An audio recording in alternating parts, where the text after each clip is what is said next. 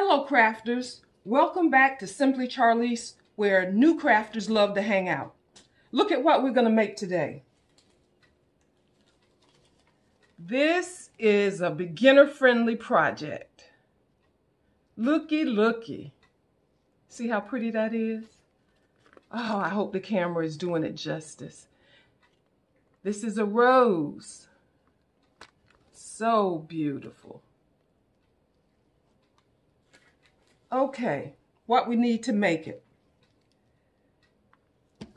First thing, we need a soap base. I'm using a clear glycerin soap. You can get that at Hobby Lobby, Michael's, Amazon.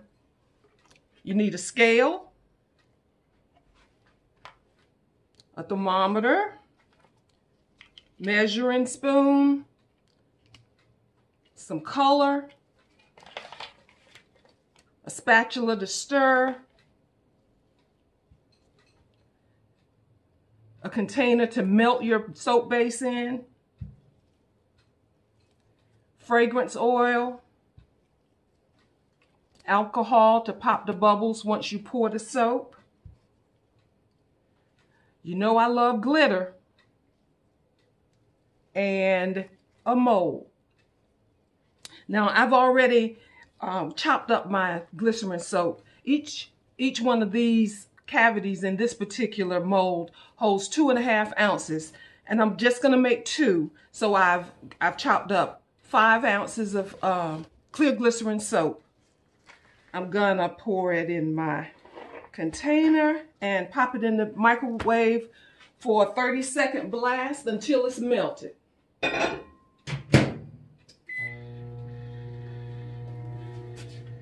So are you like me and you decided since you've been locked up because of everything that's going on in the world that you love to create things?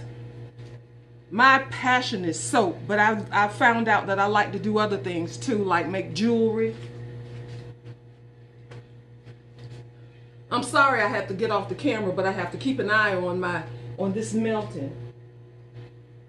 I set it for 30 seconds and I'm going to set it for another 30 seconds.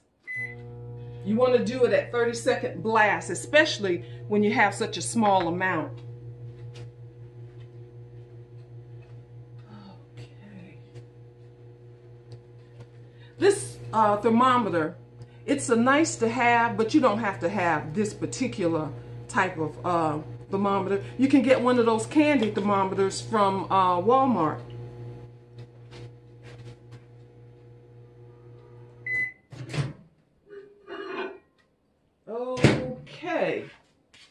So it's all melted. Ooh, it's really hot. Let's see what temperature it is. It's at 180, 178. So I'm going to let it cool down a little bit. You don't want to um, add your fragrance oil into your soap base before it get before it cools down to uh, 175 is probably safe. The color, on the other hand, you can go ahead and add. And for this baby rose, I'm just going to add some red. And you decide how much or how little you want to add. I want a pretty deep rose. And it won't take a whole lot of color for this little bit of soap. Okay, so we got it nice and red. And what I like to do is sit it on top of something white so that I can really see what the color is looking like. Okay. All right, the temperature is down to 163, just that quick, just by adding um, just by adding the, the color. So now I'm to add my fragrance.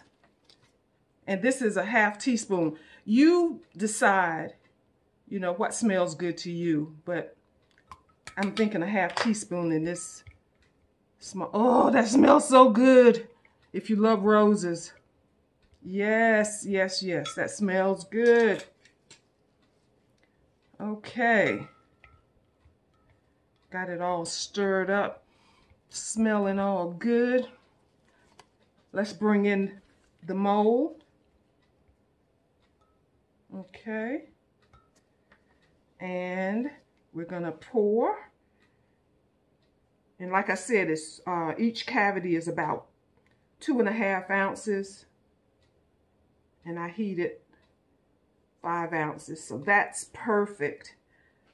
And I, you probably can't see the uh, bubbles, but there are little bubbles on top. And that's what the rubbing alcohol is for. Okay, so this is done. How easy was that? All you have to do is wait for this to set. And once it's set, this is what this particular one looks like. We got cut off, but I'm back. All we need to do is add some glitter and we're done. Ah, glitter makes everything beautiful, beautiful. Okay. And there you have it. Bye, guys. See you next time.